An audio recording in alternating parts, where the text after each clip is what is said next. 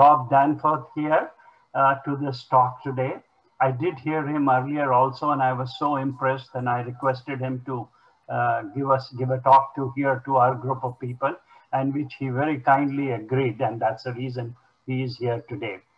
So he will give us some tips on how to manage your plants, be it indoor or outdoor in your front yard or backyard, right? Particularly the invasion of the bugs, how to uh, control them. That is his main domain. He has about, I would put it around 40, 45 years experience as a urban uh, organic uh, vegetable and herb gardener, more than 40, 45 years. And he's been working in the food community garden network also for a number of years. He's been working with Canada Organic uh, Growers Ottawa chapter. He has published uh, quite a few papers on subjects like uh, Colorado potato beetles, box reds, composting, cutworms, and so on and so forth. So if I continue speaking about Rob, I think I'll myself take about 40 minutes. So I don't want to do that. And uh, uh, Rob, I'll give the floor to you. Unmute yourself. And this lovely audience is all yours now for next 40, 45 minutes. And as I said, we will take the questions at the end of the session, not in between, please. So if you have any questions, write it down and later on you can ask. Uh, Rob, please go ahead. Uh, thank you, Anil. Um, I'm uh, coming uh, to you today as a, um, uh, uh, I guess, to talk about one of my favorite topics, and that happens to be gardening. And uh, I've been doing it, as Anil says, for many, many, many years. Um, I'm, excuse me, I'm just trying to get the slideshow here. There we go. Yeah. And um, today's talk is mostly about indoor bugs because most of you, if you are growing indoors, you are getting ready to go outdoors. If we were going the other way, um, what I'm going to tell you today is applicable.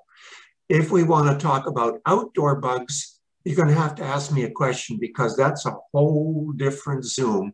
Because outdoors, you have a whole yard of new bugs, bugs that don't come in your house. But I'm going to address the ones in your house. And of course, I'm going to mention uh, a bit of lawn as well, because the chinch bug, um, uh, part of the solution to the chinch bug is one of the plants that I want to talk about.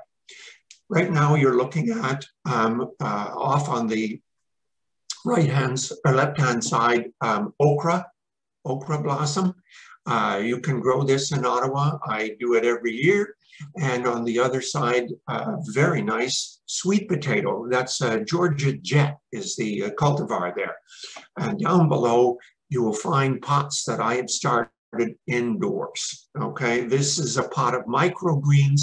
Um, it's actually mesclun, which is a mixture of greens. Uh, some of it somewhat spicy, and lettuce. And here's toma two tomatoes surrounded by basil. The two tomatoes are going to go outside. And this is uh, garlic, but uh, it's not the bulb type garlic. Okay, this uh, you're going to use the leaves on that one. So let's begin. First of all, always maintain healthy soil and healthy plants. This is the way you have to start, both indoors and outdoors. If the soil is not healthy, I'm sorry, you're going to lose the battle. If the plants are not healthy, many unhealthy plants attract feeding bugs. It's a standard thing from Mother Nature. It's her janitorial service. She likes to uh, bring in the bugs to help get rid of the garbage. And then if we're indoors, you're going to want to work against the indoor bugs. We'll mention the outdoors if you ask the questions later on. So indoors, plant health in containers, because you're going to be in containers. There's no other way. First of all, fertilize with organic plant food. Now, um, uh, all uh, plant food is going to have three numbers. I'm sorry if I'm boring you with this. If you already know this, just grit your teeth and wait.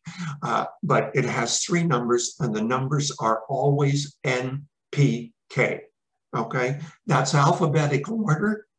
Yeah, I know the K is, uh, but say the words and it's alphabetical. Nitrogen, phosphorus, potassium. Okay, where did the K come from? I don't know. Don't worry about it. Okay, so anytime in North America, if you see three numbers together, it's going to be NPK, always. Uh, now you need N for green growth. You need phosphorus and potassium if you're going to have a tomato, okay, or a potato, or a cabbage. Uh, you need that.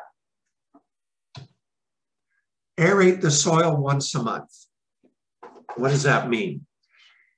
You got to have air at the root of the plant, okay? Uh, in the little thumbnail, you, if you can see me, I've got here a potted plant.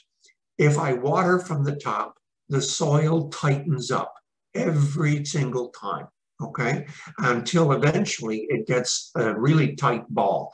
The way you know this, A, the pot is very light, like a, like a, a balloon. And secondly, if you pour water in and it runs out the bottom right away, oh, it's too tight. So you take a chopstick, a knitting needle, uh, uh, a cake tester, something. Don't take a blade. Don't take a blade take a, something round like this that won't cut your roots, stick it into the soil and wiggle it around and go all the way around the plant, okay? And that way you're going to open up the soil, the water gets in, the air gets in, the water runs out the bottom so the soil stays moist, but these plants do not swim. So no swamp, please. Make sure it drains out the bottom. Um, I do that once a month, or if ever you see the pot tightening up too much. Water so the soil is moist but never swampy. Bottom watering is preferred, and I'll address that later. Safe the pot runoff. Anything that runs out of the bottom of the pot is soil tea. Uh, no, you don't drink it, but you save that, you dilute it, and you put it back. Why? Because the the soil in this pot is a tea bag. You put water in the top, tea comes out the bottom. That's what you want to uh, dilute and you want to put it back. You don't want to waste the nutrient that's in there. Ensure sufficient light. Now, when you're indoors, and this is the hard part for a lot of people, you're going to need sun or you're going to need full spectrum artificial light. Full spectrum means an ordinary incandescent bulb is not going to do the job. And ordinary fluorescent tubes, no good. You've got to have full spectrum. If you take a rainbow, a rainbow is full spectrum light, fractured, okay? So uh, what you want is full spectrum light on your plants. That can be expensive. Uh, sunlight, if you've got it, hallelujah. Ensure good air circulation. You don't want fungus, and air circulation is prime. And pollinate the flowers with a paintbrush if vegetables are producing fruit and your vegetables are not going outdoors. Yeah, a paintbrush. I didn't bring one, but you can see one pictured here. This is my indoor toolkit. My uh, chopsticks are there, my uh, secateurs in order to trim off the plants, my paintbrush, because I grew tomatoes indoors, they never saw the sun, and I had to go around with my paintbrush and pollinate. Okay, just go from plant to plant, flower to flower to flower to flower. And I got tomatoes. It took a long time, but I got tomatoes. Okay. Watering indoors, uh, obviously, you're going to need watering cans, um, and bottom watering is best. Instead of watering in the top of these plants, water in the tray and let the water be soaking up from the bottom. That way you're not worried so much about tea bag kind of thing. And if you haven't got that ability, then you may want a mister, especially if you've just put seeds on the surface and the seeds haven't set yet. So a mister allows you to spray the seeds. A puddle of water is going to float your seeds around and they're all going to collect in one corner and it's going to be terrible. Okay, so uh, you don't want to pour a bunch of water at the top. You can do a mister. If you like, make your own. Get um, a, a, recycled bottle, get a the top off a spray gun, uh, food safe, please, food safe, not something poisonous, uh, and pull the straw out of the bottle, take the gun to the hardware store, fit the tube, buy the tube, come back, punch a hole in the top of your container, whatever container you got, and put uh, the tube into the container, and then around the tube, put an elastic so the tube doesn't come back out. Okay, then the bottle sits upright and your gun goes upside down and backwards. This is going to be important when we talk about bugs. Okay, container watering. Watering from the top, not the best move. Never water the leaves, never. Well, sorry, if you got orchids, eh, you're gonna have to mist. Uh, they like high humidity. But if you don't, if you're doing vegetables, uh, then you're going to water from the bottom where the green line is. If you're going to pour from something that doesn't break up the water, don't do this over here, where you see we dig a hole. You've probably seen those big machines out on the street where they, uh, they use a water drill to drill down into the soil. Okay, well, that's kind of the same thing. So take a flower pot, one that has drain holes. Sit it on the surface, fill it full of water. The water will slowly come out and spread around. Or if you're going to be adding a lot of water, sink a pot over here on the corner, sink a pot in the soil and leave it there permanently. Just keep adding water to the pot. Water as needed, finger, do not water according to a weekly schedule. This is horrible uh, because more plants will die of drowning than they will of thirst. When a plant is thirsty, you know because it goes and it looks terrible. And you think, oh my gosh, I've lost this thing. So you water the plant and back it comes and everybody's happy.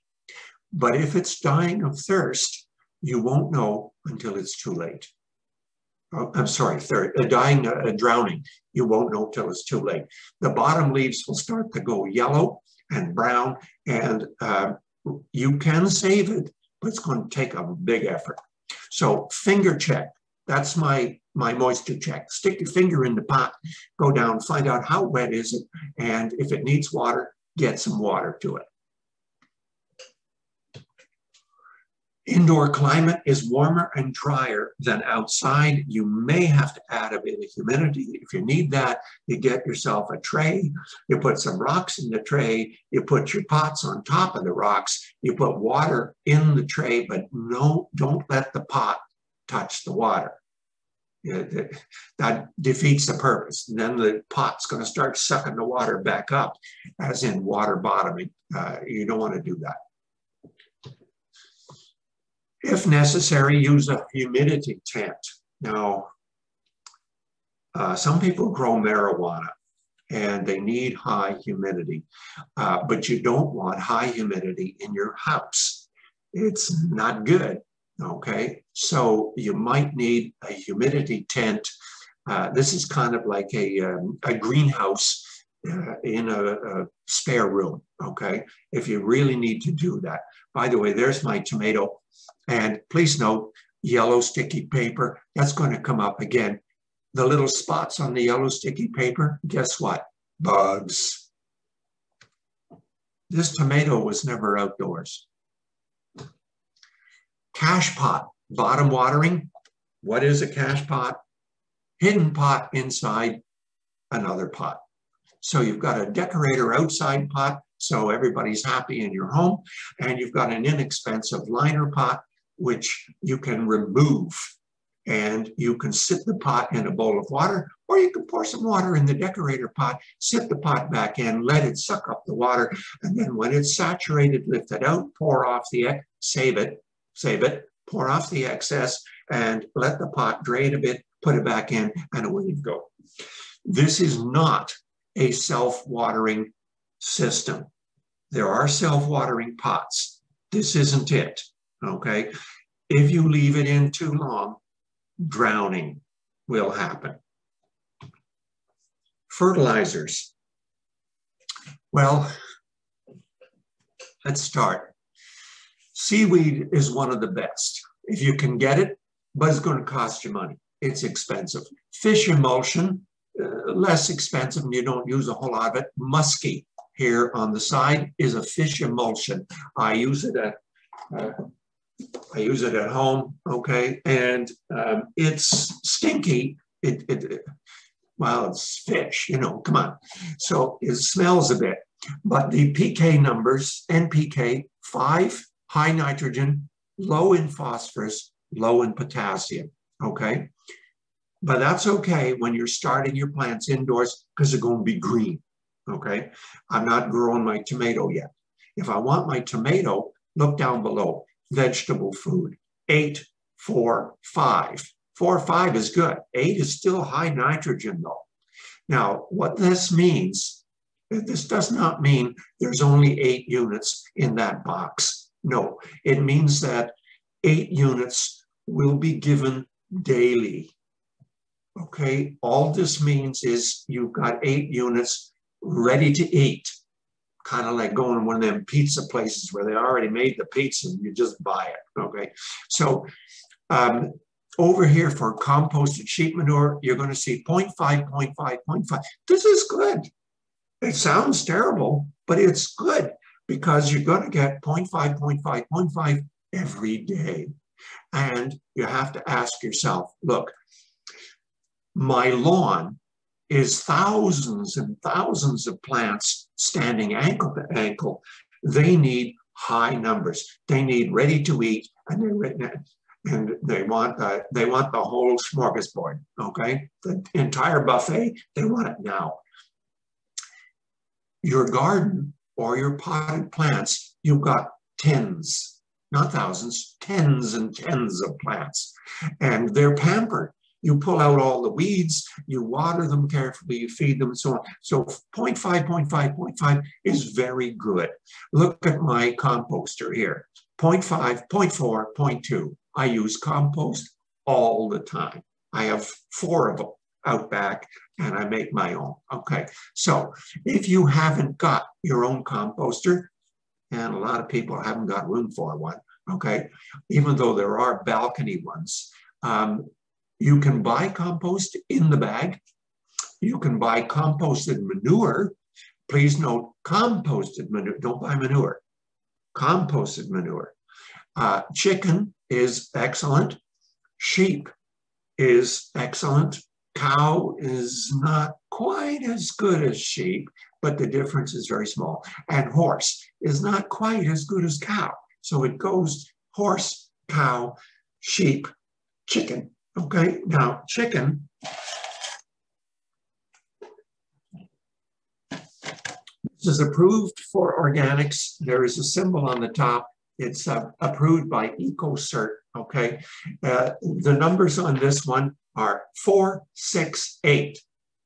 Great for uh, getting um, fruit, vegetables. Now, it comes in pellet form as soon as you add water, it's going to dissolve.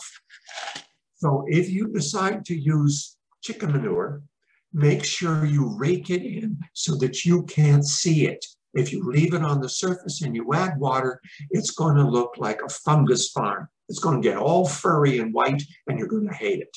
So don't let it, that happen. rake it in, make sure it's gets uh, nicely stirred. Uh, if you make a tea, well, that simply means take some compost, put it in a bag, stick it in some water. Uh, now you're getting liquid nutrient. So if you make some uh, compost tea or comfrey tea, comfrey is a, a weed. I grow it all the time. It never dies. It's very invasive. I got to control it. So I cut it off completely at soil level and I throw it all in my compost. Or I take the leaves and I put them around my tomato plants as a mulch. Perfect, absolutely perfect. Okay. Or diluted pot runoff. And of course, worm castings. If you are into vermiculture, hallelujah, worm castings are fantastic. Uh, just a lot of people don't want a bunch of worms in their kitchen. Uh, okay. Uh, lawn lost to chinch bugs. Uh, mentioned lawn, and I'm going to talk a bit about this. I've got a few pictures here. Um, you're looking at this, uh, I've already seeded it with Dutch white clover, but take all the green away and you'll see what my lawn looked like. It was brown, dead, not coming back. So I had to add some lawn soil and compost, which I have, and seed with Dutch white clover and rye grass, or get new grass seed mix, okay, and reseed the dead lawn. Bugs do not like Dutch white clover or ryegrass, but they do like two of the usual grasses, the three grass mix. When you buy a grass mix, it's usually three grasses. For example, Canada bluegrass, Kentucky bluegrass, and creeping red fescue. Well, you're asking for trouble. If you've got chinch bug, they're going to come in the millions and you're going to lose your lawn, okay? They also like sod forming mixtures. Well, that's interesting because the area you're looking at at the top was sodded. The area below was not.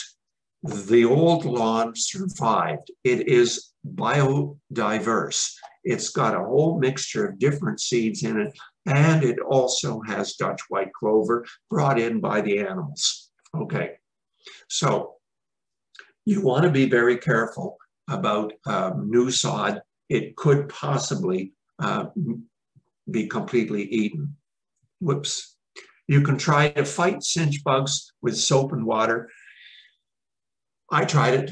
I, uh, uh, I could see them coming in. It was like watching waves on the beach. They were coming in and coming in and coming in, and my lawn was disappearing. And I'm taking used dishwater, very soapy, and dousing it. Uh, I lost the lawn. I lost the war. So you could try, but I don't. I don't think you're going to be terribly successful.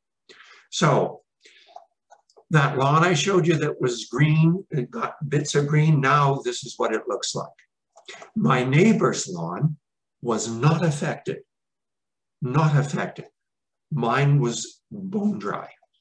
My, uh, this other line here shows you the break between the new material I put in and the old grass. And now I've added Dutch uh, white clover and ryegrass to the existing grass. Fertilize all lawns with high NPK numbers like 20, 20, 20 because they're hungry and there's thousands of plants. Feed them. Lawn care treatments will kill clover. a colleague of mine, he liked clover lawn the way mine looks. Lawn care company was going next door. They made a mistake. They did his lawn instead. Everything gone, dead. Weeding by hand is not fun, but it is organic and lawn is not chemical dependent. You do want to be careful. Some lawn treatments will make your lawn chemically dependent, addicted, if you like, okay? And mm, you may not want that. Bug control, indoors mostly. Fruit flies, aphids, spider mites. These are spider mites are bright red and the size of a pin. They're very tiny. but they're red. And you, if you've got them, you'll know it. Just look closely. And then there are fungus gnats. These are small flies, a little bit smaller than a fruit fly, okay? Uh, thinner, uh, more anemic. Uh, and mealybugs, they look a lot like a small blister with a white fuzzy coat, okay? And they'll be on the stems of plants. Uh, you're looking here at aphids, which came in on an organic plant purchased at a grocery store. They have them. I brought, I purchased it. And uh, right now I'm showing you an ant. Ants farm the aphids. Now, this ant, uh, I got those too. I'm trying to get rid of the darn things. Anyway, ants will farm the aphids because they milk them like cows. What they do is they stroke the back, they suck the honey. When they stroke the back, the uh, aphid gives off a, a, kind of honey and uh, the ants love it and they take it back to the nest. But they will also pick up the aphid and move it around to a better location. Uh, kind of interesting to watch. I have pictures.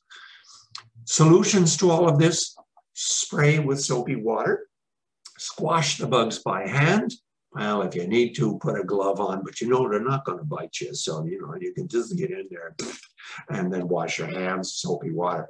Uh, reduce moisture because many of the bugs don't like dry. They, they like moisture. And yellow sticky cards or traps. That's where we're going. Here we have yellow sticky cards. Uh, yellow is a very popular color to bugs. Not Every bug likes yellow. They like all kinds of other colors, but yellow will attract them. You'll notice that most vegetables uh, and herbs will put out a yellow flower or a flower with a yellow throat to bring the bugs in, okay? Now, here's a greenhouse uh, down around the Manotick. This is Suntech greenhouse. You'll notice they use the yellow sticky cards all over the place. And um, here I've used them as well bug infested plants, if it's if it's hopeless, it's just covered in bugs. I was at a, uh, uh, a housing unit and they had a problem. They had plants that they brought in and they were just terrible. So put a bag over it, pull the whole thing out, dump the, uh, uh the plant in your green bin. Yellow sticky paper works well because bugs are attracted to yellow, but catches all insects outdoors. So if you use these yellow sticky cards outdoors, and you might for flea beetle, flea beetle likes your eggplant. If you uh, do use that, remember you're going to catch every bug that comes by. Eh, you plan on it, okay? Plan how you're going to use it. Uh, I do use them around my green bin, and I catch well, you can't see the sticky card because it's covered with houseflies. So covered, it's stunning. Okay. Insect management sprays, soap and water, uh, one part soap, 40 parts water. I confess, I don't do that. I take some water, I put a little soap. Not a lot of soap, I put a little soap okay? And um, I'm going to add a bit of alcohol if I've got a waxy surface over the bugs. Some of the bugs protect themselves with a, bit of wax. Now, this is from Ed Lawrence. Um, I've tried this. It works very well, but I cheat on the soapy water, okay? I do use a Castile Pure soap. It's a little expensive. I buy it at a health food store. Uh, but if you use it, don't use the detergent, use a soap okay? Detergent is not good for your plant, okay? Now, uh, if that's the case, rinse after 10 minutes with clean water. Now, to do that, you're gonna need a sprayer, one with soap, one without, okay? And you're gonna need to be able to spray under the leaves and over the leaves and so on. Now, when you do that, put it in your bathtub. or if you've got a, laundry sink, do that. You're going to save yourself a whole lot of trouble. And in order to keep the soapy water out of your plant, put uh, cardboard, cut a hole, put cardboard around your plant and stop or put uh, saran wrap or uh, I don't know, plastic bag, you've got a milk bag or something, keep the soapy water out of the soil. all in one. I don't recommend this. I, yes, I've tried it, but it's got canola oil. I don't like oil. Okay, I, it's uh, it gums up my sprayers and so on. So um, this is an interesting all-inclusive. If you want to go that route, skip the oil part. Uh, I don't think you really need it. That's a tablespoonful, you know. And of course, the easiest way to get rid of bugs is to shoot them off with a water jet. Just spray them off. Aphids, easily done. They don't, they don't uh, climb back on. To spray plants 360 degrees without tipping the container, make your own sprayer. I've talked to you about this, so I'm going to zip through this. Save the nozzle, replace the plastic straw, take the nozzle in for a fitting to your local hardware store, bore a hole and place an elastic. And unfortunately, when you put the gun down, it's going to leak water. So you got to keep that in mind.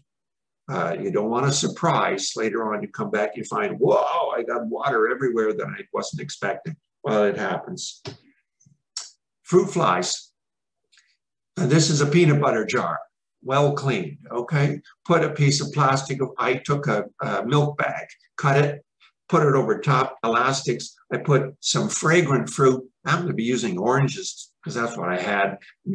I didn't my I didn't want to break into a mango or you know get into any of those uh, other things. So right now I'm using orange for demonstration, and I take a toothbrush, a toothpick. You can see the toothpick. I punch holes, boom, boom, boom, and uh, put it near uh, your food and you'll catch fruit flies and they won't find their way back out.